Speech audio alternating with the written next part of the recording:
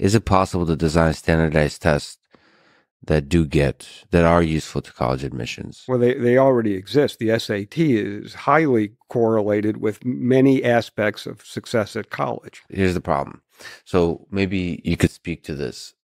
The correlation across the population versus individuals. So um you know, our criminal justice system is designed to make sure um well it's it's it's still there's tragic cases where innocent people go go to go to jail, but you try to avoid that. In the same uh, way with testing, it just it would suck for an SAT to miss genius.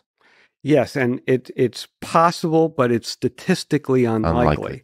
So the it really comes down to Yeah.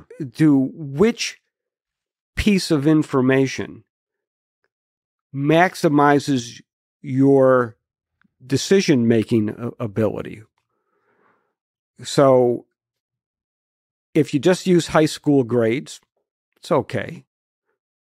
But you will miss some people who just don't do well in high school, but who are actually pretty smart, smart enough to be bored silly in high school and they don't care and they their high school GPA isn't that good. So you will miss them.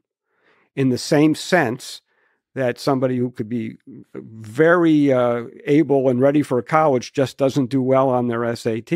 This is why you make decisions with a, taking in a variety of in, in information.